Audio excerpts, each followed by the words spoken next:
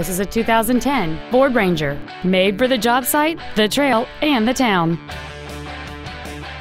All of the following features are included. A low tire pressure indicator, aluminum wheels, traction control and stability control systems, dual airbags, air conditioning, cruise control, a bed liner, an anti-lock braking system, and this vehicle has fewer than 56,000 miles on the odometer.